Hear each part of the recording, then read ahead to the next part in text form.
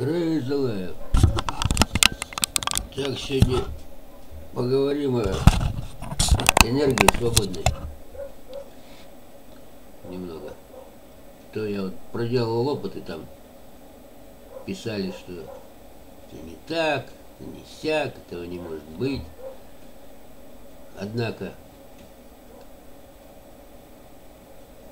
я сегодня провел опыт даже, как я показывал в первом ролике, реле заедает.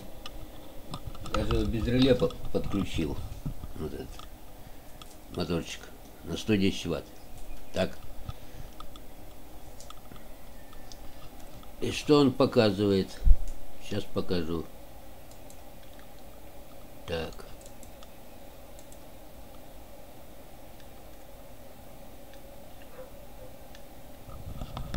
Показывает вот что, даже без реле затраты 90 ватт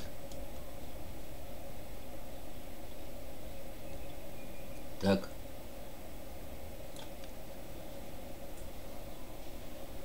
А мотор этот 110 потребляет. И не надо вот говорить про холостой ход. Холостой ход работает вот на этих моторах, где нет магнита. Он там работает, пока магнит, пока его, как говорится, не подключишь к батарейке, катушку. И когда магнит, он уже не на холостом ходу. Получается, видите, даже без реле, без реле. Лампочку подключил, лампочка 45, 90 ватт был траты по счетчику. Лампочку подключил. Значит, на 9 вольт. Питание было, она на 12, то есть 45 ватт получалось. То есть и плюс сам мотор 82, видите? Получается 127,5, даже не применяя реле Амрон. КПД 141%. Видите как? Так. На магнитном моторе. А дальше, значит, его без лампочки прогнал. Значит, без лампочки 126 ватт. Но напряжение я подал. Больше он, правда, грелся. Вот тут надо к нему вентилятор еще приделать. И получилось. Вот.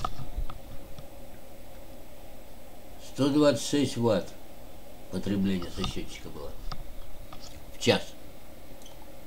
А выдает 206 ватт. Так как он, значит, напряжением, напряжением он на 12, а на него подавал 22,5. 22,5 подал на него. То есть почти в два раза больше. То есть 206 ватт. И тут КПД вышло, видите, даже без реле 163%. Но я просмотрел в интернете. Думаю, может не так. И нашел, оказывается, все так. Видите, что я нашел?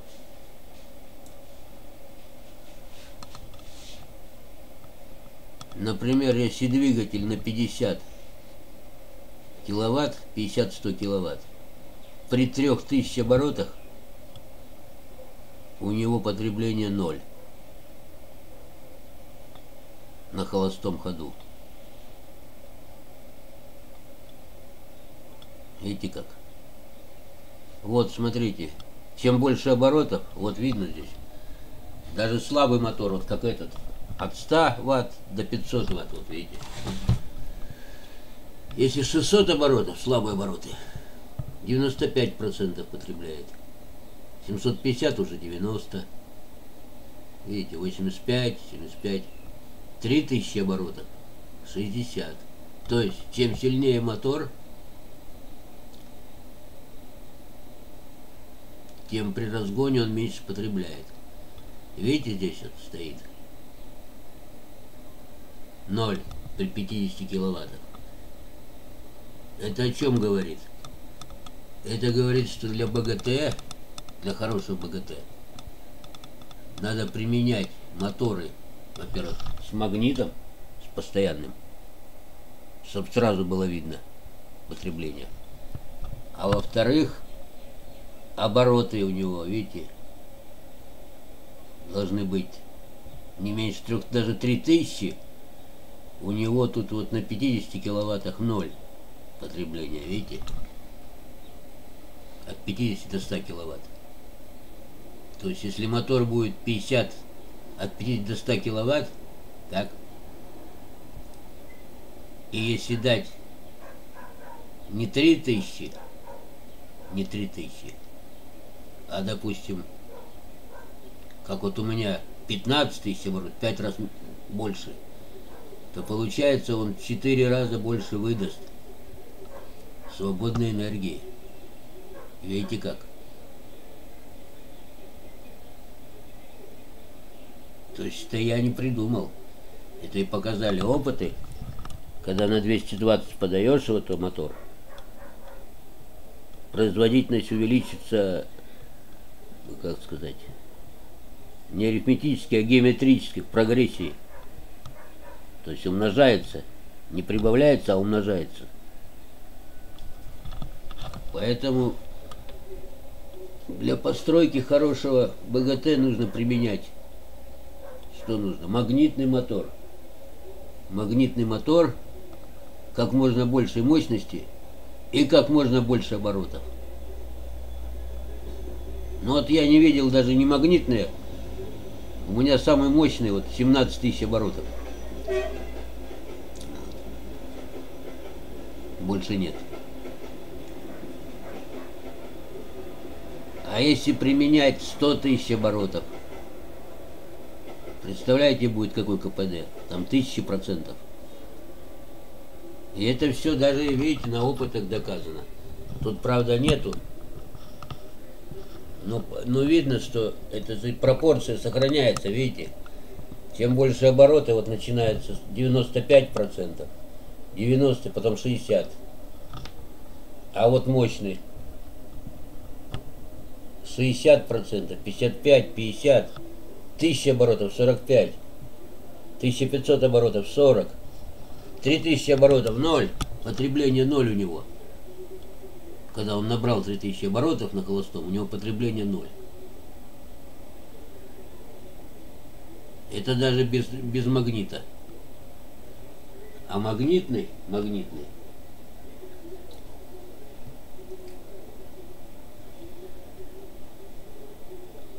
он дает ток обратно в сеть. И у него у него холостого хода по существу нету. То есть, если, понимаете как? Тут вот спрашивали, не, не понимают, что. Когда вот я магнитный запускаю, вот на холостом ходу, у него нет холостого хода. Вот что. Так там магнит. Он просто, если ты на него нагрузил больше, он просто снизит, снизит обороты, снизит э, обороты, и все. То есть больше отдаст на потребителя. Сюда меньше себе, а на потребителя больше. А не то, что там это прибавится. Это магнитный по-другому. Он обратимый магнитный он обратимый, то есть он в одну сторону берет, если в него подаешь, а если его крутишь, он дает ток. Поэтому я и говорю, что